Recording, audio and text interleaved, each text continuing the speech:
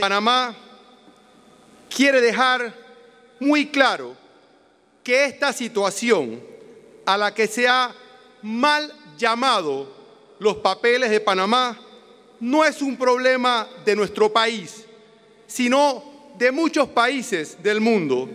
cuyas estructuras legales y financieras son todavía vulnerables a ser utilizadas para fines que no representan el bien común de los ciudadanos. El gobierno de Panamá, a través de nuestra Cancillería, creará un comité independiente de expertos nacionales e internacionales de reconocida experiencia para que evalúe nuestras prácticas vigentes y proponga la adopción de medidas que compartiremos con otros países del mundo para fortalecer la transparencia de los sistemas financieros y legales. Trabajaremos no solo a lo interno de nuestro país, sino que también